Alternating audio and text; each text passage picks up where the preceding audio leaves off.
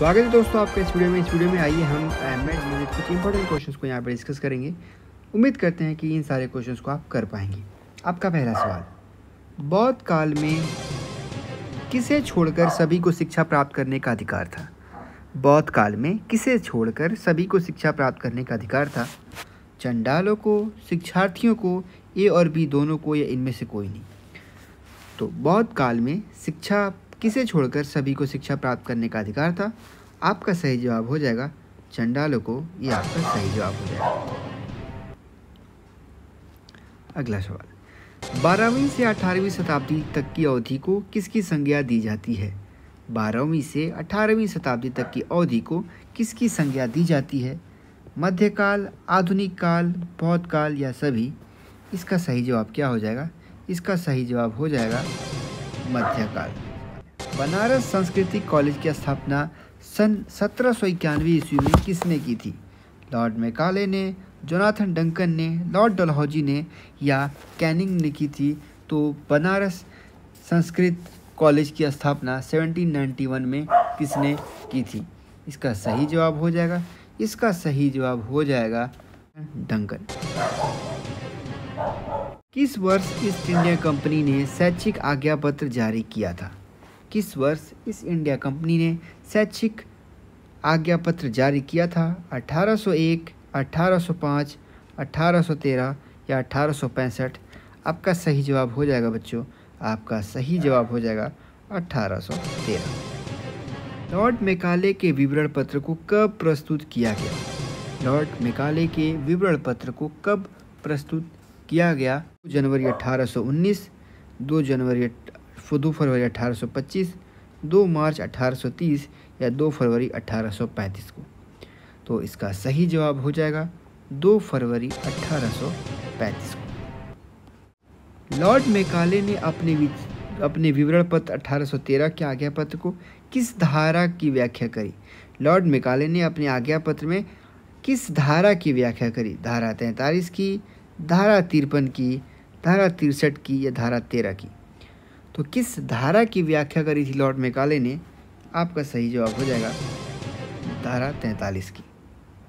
Macaulay के विवरण पत्र को किसके द्वारा स्वीकृति प्रदान की गई?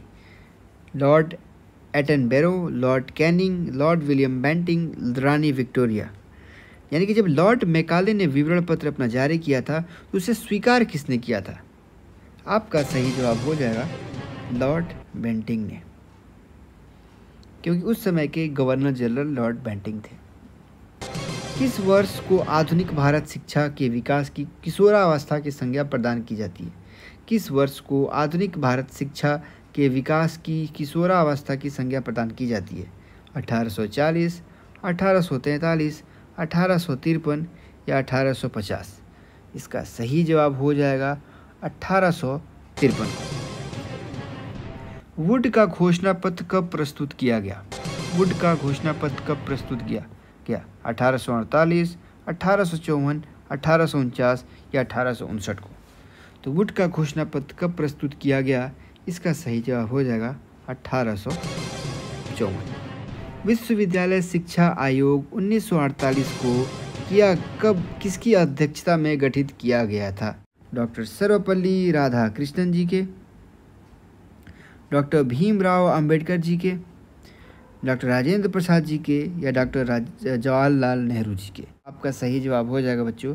आपका सही जवाब हो जाएगा कि डॉक्टर सर्वपल्ली राधाकृष्ण अगला सवाल है आपका, किस आयोग को मुदालियर आयोग के नाम से भी जाना जाता है?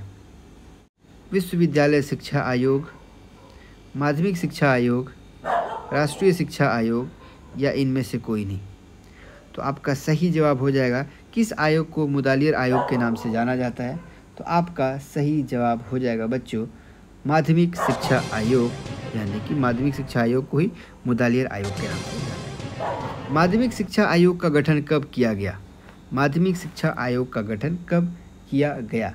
माध्यमिक शिक्षा आयोग का आपका विकल्प है उन्नीस सौ बावन तिरपन, उन्नीस सौ उनचास पचास, उन्नीस सौ अड़तालीस उनचास या उन्नीस सौ पचपन छाछठ।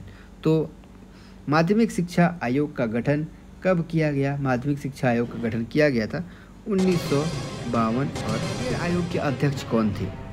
मुदालियर आयोग के अध्यक्ष कौन थे? Doctor Vinay Swami Mudaliar, doctor Vinoba Bhave, doctor Lakshman Narayan, Lakshman Swami Mudaliar, doctor Rajendra Prasad. तो मुदालियर आयोग के अध्यक्ष कौन थे? मुदालियर आयोग के अध्यक्ष कौन थे? आपका सही जवाब हो जाएगा। कि मुदालियर आयोग के अध्यक्ष थे डॉक्टर स्वामी, लक्ष्मण स्वामी मुदालियर। राष्ट्रीय शिक्षा आयोग का गठन कब हुआ? राष्ट्रीय शिक्षा आयोग का गठन कब हुआ? 1960 में 11 मई उन्नीस सौ बासठ में 14 मई उन्नीस सौ चौंसठ में 18 मई उन्नीस सौ छियासठ में। तो राष्ट्रीय शिक्षा आयोग का गठन कब हुआ था? इसका सही विकल्प क्या हो जाएगा? 14 जुलाई उन्नीस सौ चौंसठ। कब हुआ था? 14 जुलाई उन्नीस सौ चौंसठ। राष्ट्रीय शिक्षा आयोग का अन्य नाम क्या है? राष्ट्रीय शिक्षा आयोग का अन्य नाम क्या है? राष्ट्रीय शिक्षा आयोग का अन्य नाम है ऑप्शन आपके, मुदालियर आयोग, प्रसाद आयोग, बॉस आयोग या कोठारी आयोग। तो राष्ट्रीय शिक्षा आयोग के अन्य नाम क्या है भाई? कोठारी आयोग। ये आपका सही राष्ट्रीय शिक्षा आयोग किसकी अध्यक्षता में गठित हुआ था? राष्ट्रीय शिक्षा आयोग D D S Kothari, Rabindranath Chatterjee B R Raghav या बी एस कोठारी? तो राष्ट्रीय शिक्षा आयोग किसकी अध्यक्षता में गठन हुआ था? राष्ट्रीय राष्ट्रीय शिक्षा आयोग किसकी अध्यक्षता में गठन हुआ था? D D S Kothari ji. राष्ट्रीय शिक्षा नीति उन्नीस सौ अड़सठ में कितने आधारभूत सिद्धांतों की स्थाप की को स्थापित किया गया? दस सत्रह, तीस, उन्नीस। राष्ट्रीय शिक्षा नीति उन्नीस सौ अड़सठ में कितने आधारभूत सिद्धांतों को स्थापित किया गया? दस, सत्रह, तीस या उन्नीस? तो इसका सही जवाब हो जाएगा आपके सत्रह। किस शिक्षा नीति में शैक्षिक ढांचे को ten plus two plus three के रूप में स्वीकार किया गया?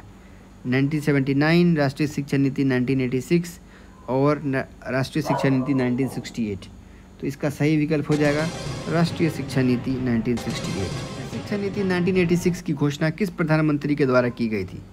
राजीव गांधी जी, इंदिरा गांधी जी, ज्ञानी जैल सिंह जी पीवी नरसिम्हा राव जी के द्वारा। तो 1986 के समय किसकी, कौन थे भारत देश के प्रधानमंत्री? तो भारत देश के प्रधानमंत्री थे श्री राजीव गांधी जी।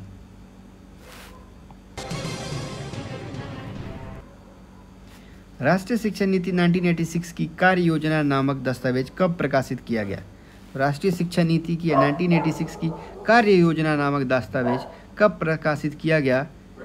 मई उन्नीस सौ छियानवे, जून उन्नीस सौ छियासी, दिसंबर 1988 या दिसंबर, नवंबर 1986 तो आपका सही जवाब हो जाएगा, राष्ट्रीय शिक्षा नीति कार्य योजना कब प्रकाशित की गई थी? नवंबर 1986 में। नवंबर 1986 में ये प्रकाशित की गई थी।